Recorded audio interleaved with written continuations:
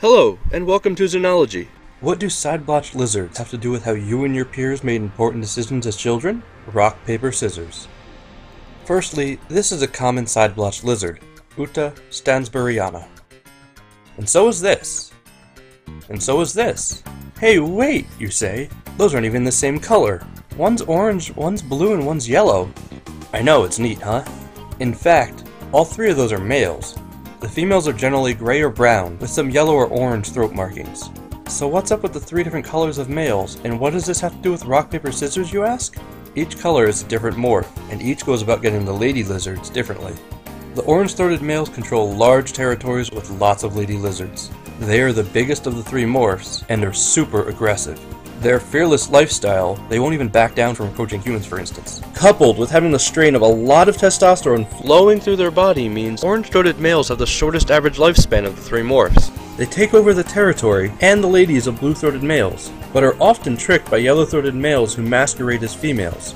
The blue-throated males control small territories that normally contain only one female. They're larger and more aggressive than the yellow-throated males, but less so than the orange-throats.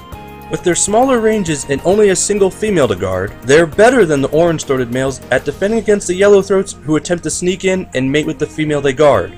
Interestingly, some blue-throated males have been found to team up to guard against the hyper-aggressive orange-throated males, in a neat display of what on the surface looks like altruism, though on a deeper level it is still self-promoting. I'll talk about altruism in a later video. Yellow-throated males are the least aggressive, avoid direct confrontation, and hold no territory. They are what scientists refer to as sneaker males. As already mentioned, yellow-throated males will pretend to be females to trick orange-throats into letting them in their territory. When blue-throated males and orange-throated males fight, or when orange-throated males are otherwise distracted, yellow-throats will dart in, mate with a female, and dart out.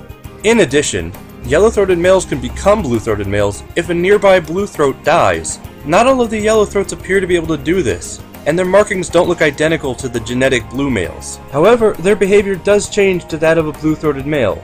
So if you haven't figured out the pattern yet, I'll lay it out for you.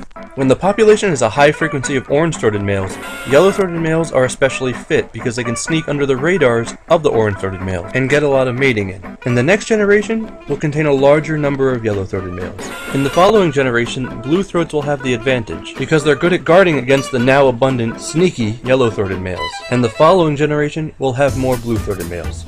The resulting blue-throated male heavy population will result in orange-throated males having an advantage because of their ability to steal land and females from the blue-throated males.